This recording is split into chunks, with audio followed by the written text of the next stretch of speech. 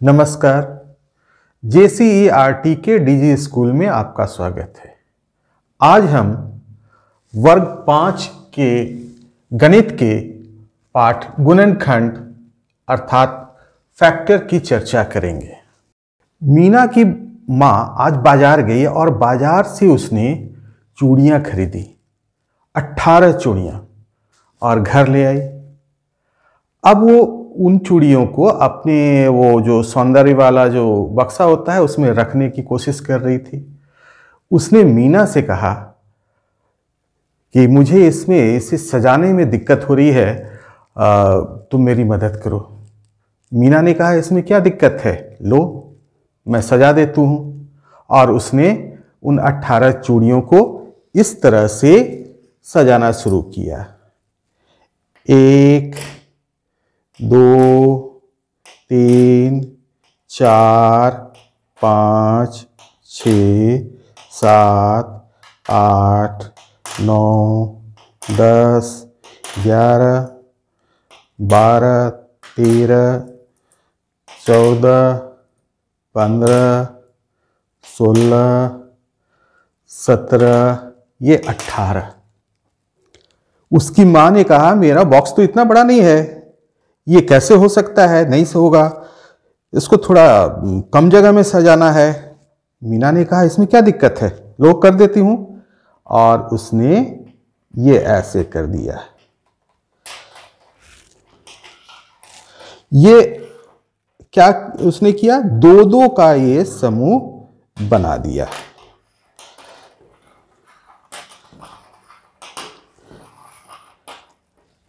मीना ने ये चूड़ियों को दो दो के समूह में सजा दिया।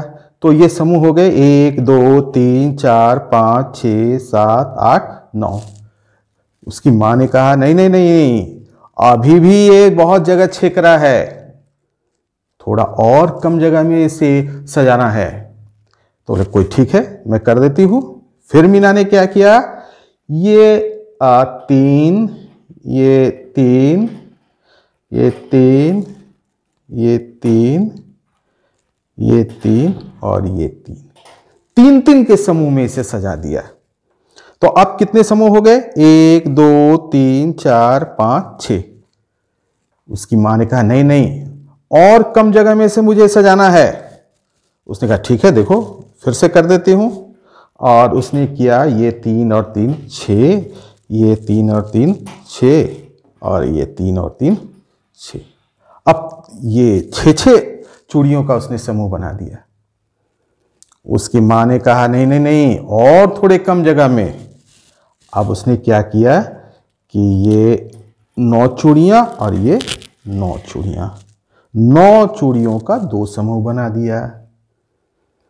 अब मीना की माँ ने कहा, नहीं, थोड़ा और कम जगह में इससे सजाओ। उसने क्या किया, ये पूरा अट्ठारह चूड़ियों को एक साथ रख दिया। तो उस मीना ने किस तरह से सजाया? मीना ने आपने देखा कि इन 18 चूड़ियों को किस तरह से सजाया? सबसे पहले उसने एक एक चूड़ी करके सजाया, यानी समूह एक एक चूड़ी का समूह बनाया, फिर दो दो चूड़ी का समूह बनाया, फिर तीन तीन चूड़ी का बनाया, और फिर छः छः चूड़ी चूड़ियों का। इसके बाद नौ नौ चूड़ियों का और अंत में 18 चूड़ियों का समूह बनाया।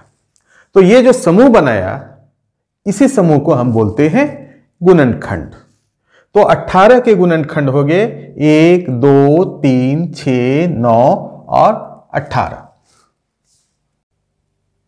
तो हमने देखा किसी संख्या को जितने तरह के समूहों में पूरा पूरा बांटा जा सकता है, उसे उस संख्या का गुणनखंड कहते हैं। अब हम एक प्रश्न लेते हैं 36 का गुणनखंड निकालो। यानी 36 को हम कितने तरह से ग्रुप में, समूह में बांट सकते हैं? तो सबसे पहले हम 36 को, अगर हम एक एक का समूह बांटते हैं तो ये एक गुना छत्तीस। अब इस 36 में अगर हम दो दो का समूह बनाएँगे तो ये दो गुना अठारह। अब इस छत्तीस को हम तीन तीन का समूह बनाएँगे तो ये तीन गुना बारह। अब इसी छत्तीस को अगर चार चार का बनाएँगे तो ये हो जाएगा चार गुना नौ। और इस छत्तीस को अब हम छ छ का बनाएँगे तो ये हो गया छ। तो हम लोग देख रहे हैं कि इस छत्तीस के गुणनखंड क्या क्या हो गए? एक हो गया, दो हो गया, तीन हो गया, चार चार के बाद छ, उसके बाद नौ, बारह, अठारह और छत्तीस। तो हम छत्तीस को इस तरह से समूहों में बांट सकते हैं। यानी छत्तीस का गुणनखंड हो गया। एक, दो, तीन, चार छ नौ, बारह, अठारह और छत्तीस। अब आप खुद से भी कुछ प्रश्नों को बना सकते हैं। एक बात और ध्यान रखें, इसी गुणनखंड को हम लोग अपवर्तक भी कहते हैं।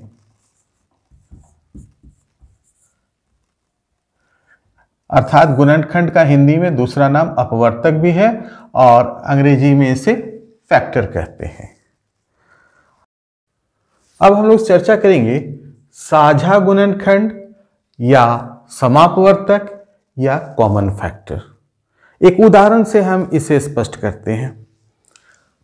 सबसे पहले 12 का गुणनखंड हम करते हैं। क्या क्या गुणनखंड होगा 12 का? एक, दो तीन, चार छ और बारह। अब एक और लेते हैं पंद्रह। इसका गुणनखंड। तो इसका हो जाएगा एक, दो होगा? नहीं। इसका क्या होगा? इसके बाद तीन। तीन के बाद चार नहीं होगा। ये होगा पाँच और पाँच के बाद पंद्रह। तो हम देख रहे हैं कि इस बारह और पंद्रह में कौन सा गुणनखंड है जो साझा है जो कॉमन है, अर्थात जो दोनों में है? तो 12 और 15 का साझा गुणनखंड, अर्थात समापवर्तक।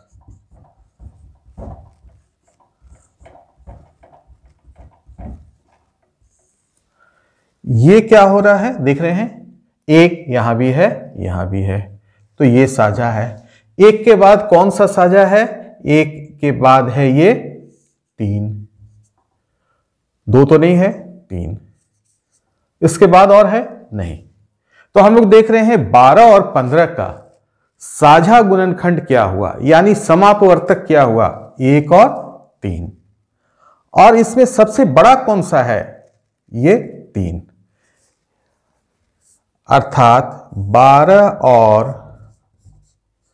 15 का सबसे बड़ा साझा गुणनखंड, और इसे हम कहते हैं महत्तम।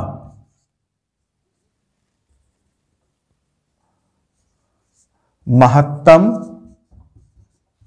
समाप वर्तक यानी highest common factor H C F तो ये कितना हो गया? तीन। सबसे बड़ा जो समापवर्तक होता है, उसे महत्तम समापवर्तक कहते हैं। तो यहाँ 12 और 15 का महत्तम समापवर्तक हो गया, तीन। अब कुछ प्रश्न जो अभ्यास के प्रश्न दिए हुए हैं, हमें आशा है कि आप इसे इसकी सहायता से बना लेंगे। गुणनखंड पेड़। यानी गुणनखंड को हम पेड़ के रूप में किस तरह से प्रदर्शित करते हैं। इसके लिए एक उदाहरण लेते हैं 18 का। तो 18 को एक गुणनखंड हो जाएगा, ये दो और यहाँ नौ। अब ये दो का और गुणनखंड होगा? नहीं होगा।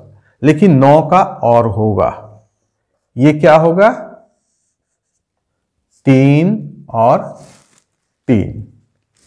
इसी तरह से अभी हम इसको दूसरे तरह से भी कर सकते हैं। अठारह का यहाँ तीन और छ तो तीन का और गुणनखंड नहीं होगा, लेकिन छ का होगा। दो और तीन। इस तरह से आप आगे और कितने हो सकते हैं, आप खुद से इसे प्रयास करें और बनाएँ। आशा है कि आज जो टॉपिक लिए गए गुणनखंड यानी अपवर्तक, फिर साझा गुणनखंड यानी समापवर्तक, यह आपको काफ़ी समझ में आ गया होगा। अब आपके पुस्तक में जो अभ्यास के प्रश्न दिए हुए हैं, इन प्रश्नों को आप खुद से बनाए। कहीं दिक्कत होती है तो अपने शिक्षक से संपर्क करें। धन्यवाद।